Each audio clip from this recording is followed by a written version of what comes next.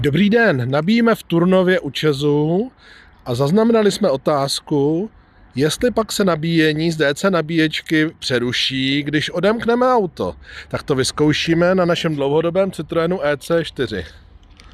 Odemkneme auto, zrcátka se otevřela, auto je odemčeno, kontrolka bliká, nabíjení dále běží. Takže další mýtus vyvrácen.